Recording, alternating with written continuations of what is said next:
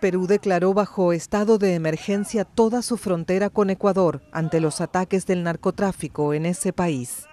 Así lo anunció el primer ministro Alberto Otárola, quien añadió que el gobierno reforzará la vigilancia con contingentes policiales y militares.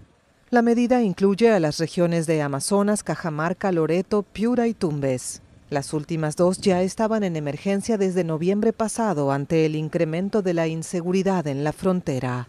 Se ha dispuesto la movilización de un contingente de policías que ayuden a la policía que actualmente está apostada en nuestra frontera con Ecuador para que haga un control más intenso del tránsito de las personas y la migración de los migrantes que ingresan a nuestro país.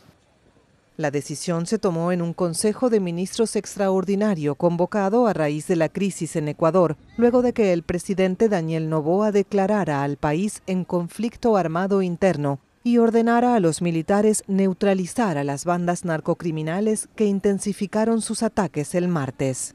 Perú y Ecuador comparten una extensa frontera de más de 1.400 kilómetros.